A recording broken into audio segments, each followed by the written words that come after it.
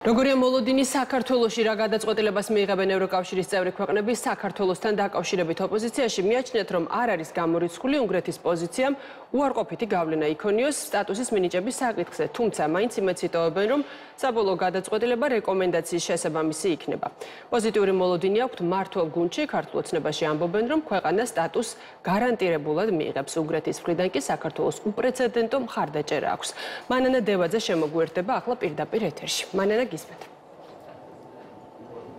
მთელი ქართული პოლიტიკური სპექტრი დარწმუნებულია, რომ საქართველოს ევროკავშირის კანდიდატის სტატუსი უნდა მიიღოს, თუმცა ევროკავშირამდე მისასვლელ გზას მართველი გუნდი და ოპოზიცია სხვადასხვა გვერდად ხედავს ოპოზიციის ნაწილის აზრით, უნგრეთის პოზიციამ უკრაინის საკითხზე შესაძლოა უარყოფითი გავლენა მოახდინოს საქართველოსთვის კანდიდატის სტატუსის მინიჭების პროცესზე, თუმცა ოპოზიციის მეორე ნაწილი დარწმუნებულია, რომ საქართველოს ფაქტობრივად გარანტირებული აქვს კანდიდატის სტატუსის მინიჭების პროცესი და ეს ოფიციალურად 15 დეკემბერს გაფორმდება, თუმცა ოპოზიცია მართლ გუნდს აკრიტიკებს და აცხადებს, რომ შესაძლებელი იყო საქართველოს კანდიდატის სტატუსი უფრო ადრე მიეღო და დღეს მნიშვნელოვანია იმ ახალი ცრანაბიჯის შესრულება, რომელიც ევროკომისიამ 8 ნოემბერს გასცა.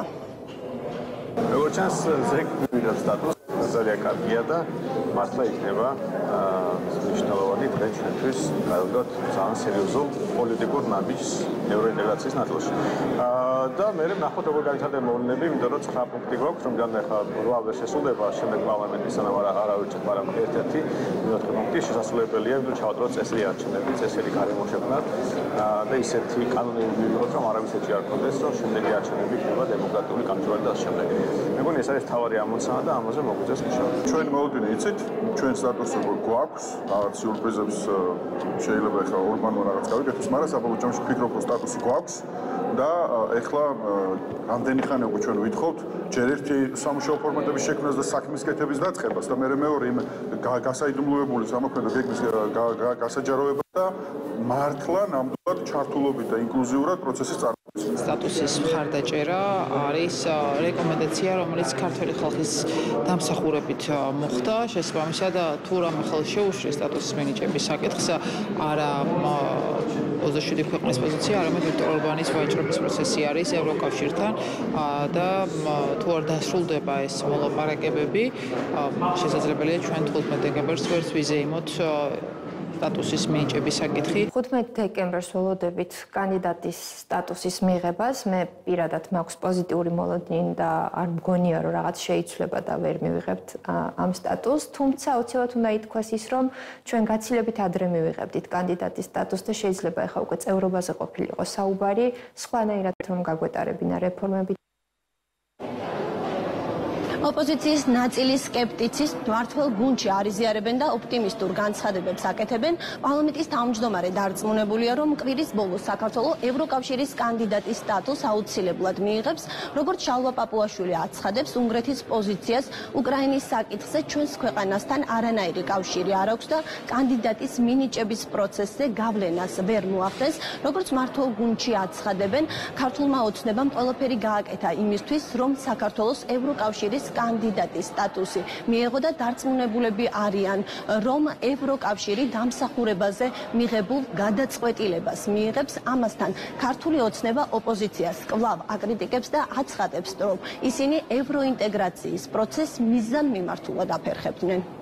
ჩვენ დიდი ხანია გვესმის, რომ გადაწყვეტილება მიღებული იქნება დამსახურებაზე დაკნობით, დამსახურება სახეზეა ახლა საჭირო არის გადაწყვეტილება. არანაირი საფუძველი, რომ რაიმე სხვა გადაწყვეტილება იქნას მიღებული საქართველოსთან დაკავშირებით, არ არსებობს. მათ შორის ის შიდა დისკუსია, რომელიც ევროკავშირში არის, სხვადასხვა ქვეყანას შორის, არ წარმოადგენს არანაირ ბარიერს, რომ საქართველოს მიმართ იყოს მიღებული გადაწყვეტილება დამსახურებაზე დაკნობით და არა ერთმანეთის ჯინაზე, რომ ვიღაცა რამეს არ უჭერს ხარს და ამის გამო სხვამ არ დაუჭიროს საქართველოსთვის კანდიდატის სტატუსის მონიჭებას. ხარ რაც შეეხება საკითხს უნგრეთის პოზიციას, რამდენად შეიძლება ქონდეს გავლენა საქართველოს სფეროზე არ მგონია რომ რაიმე გავლენა ქონდეს და არ მგონია რომ საერთოდ რაიმე კავშირი არსებობდეს უნგრეთის პოზიციასთან უკრაინის მიმართ და ევროკავშირის პოზიციასთან საქართველოს მიმართ. ეს არ არის ის მიდგომა, რომელსაც ქართული ხალხი იმსახურებს, რომ საქართველოს საკითხი იარაღად იყოს გამოყენებული მოლაპარაკებებში და შემდეგ გადაწყვეტილებები ჯინაზე იქნას მიღებული ერთმანეთს. ჩვენ ვხედავთ, რომ კანდიდატის სტატუსთან დაკავშირებით არის აბსოლუტური ერთიანობა ევროკავშირში, ამიტომ საქართველოსთან მიმართებაში არანაირი კითხვის ნიშნები არ არსებობს, რაც შეეხება ახლა უკრაინის საკითხს. უნებრივია, რომ ეს არის უნგრეთის და ევროკავშირის ურთიერთობის საქმე.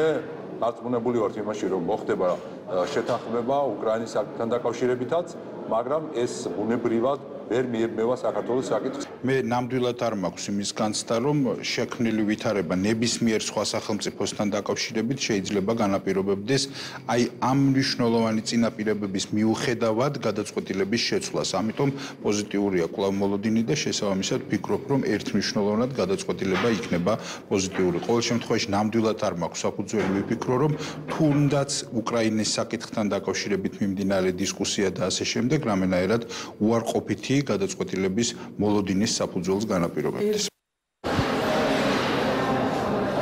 შეგახსენებთ რომ შეგახსენებთ რომ 8 ნოემბერს ევროკომისიამ საქართველოს საკითხზე კანდიდატის სტატუსის მინიჭების თემაზე დადებითი რეკომენდაცია გასცა, თუმცა საბოლოო გადაწყვეტილებას ევროკავშირის 27 ქვეყნის ლიდერი მიიღებს კონსენსუსის საფუძველზე და ამ გადაწყვეტილება საზოგადოებისთვის ცნობილი 15 დეკემბერს გახდება. მადლობა მანანა, მანანა დევაძე იყო პირდაპირ ეთერში.